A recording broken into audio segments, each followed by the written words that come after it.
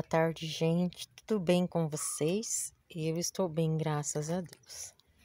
Começando aqui pelas minhas bebezinhas, ó. Estão crescendo. Mas eu acho que só vai para frente quatro de oito sementes. Que estão com oito folhinhas, ó. Estão bem bonitinhas. As outras duas não estão tão bonitinhas. Então, o assunto de hoje é podridão. As minhas rosas do deserto, ó, eu vou mostrar para vocês aqui, não reparem a bagunça do quintal, ó. Elas estão aqui, que eu estou começando a organizar, ó. Bate sol a tarde toda, ó.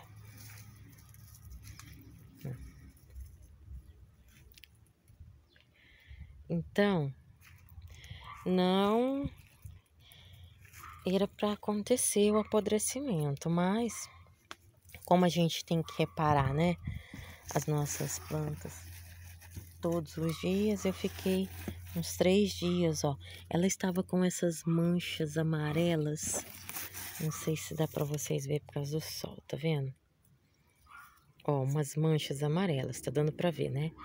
Umas manchas amarelas. E eu apertei o, o caule dela, estava normal não estava com sinal nenhum mais, sinal de podridão, mas como houve dias de chuva, né? E ficou uma semana praticamente chovendo sem sol.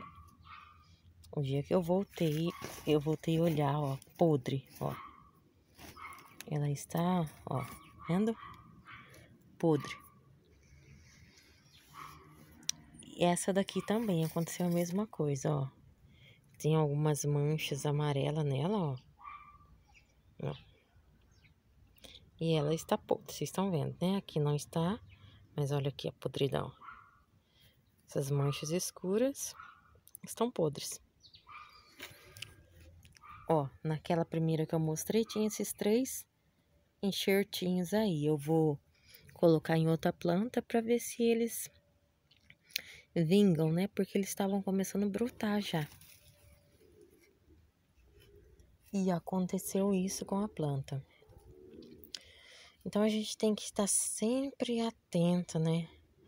Nas nossas plantas para ver o que está acontecendo, para não deixar acontecer isso, né? É de um dia para o outro, apodrece que pega total.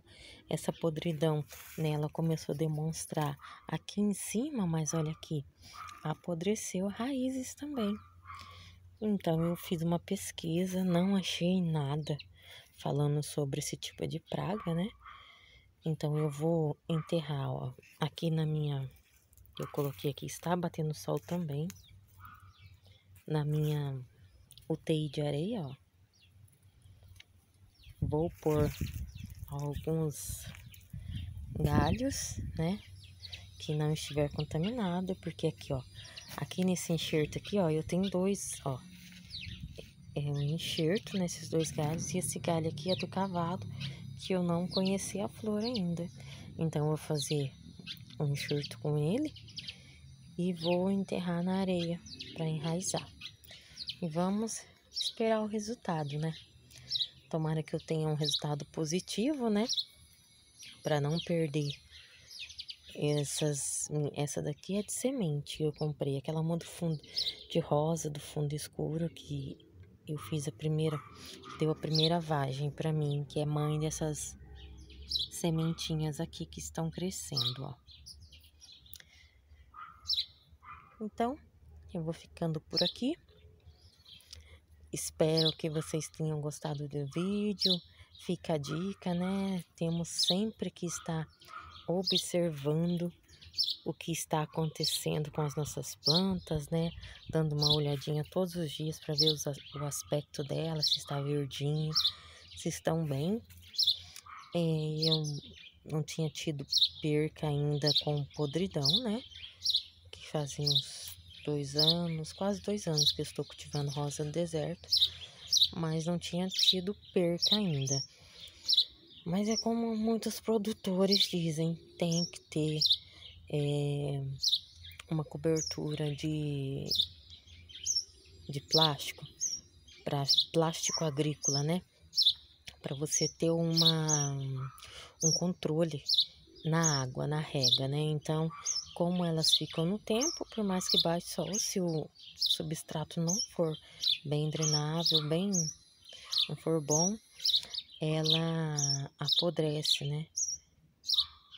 Então, se você tiver uma cobertura, ela só vai receber água quando você pôr água nela, né? Mas não vamos desistir, né? Porque a vida é assim mesmo. Vamos em frente com as nossas queridas rosas do deserto. Eu não tenho nenhuma aberta para mostrar para vocês hoje, mas eu tenho a minha maravilhosa begônia, ó. Aqui eu tenho a branca, a rosa e a vermelha, ó. Elas estão as três num vaso só, ó como ela está linda. Então é isso, muito obrigada, Deus abençoe a cada um de vocês e até o próximo vídeo.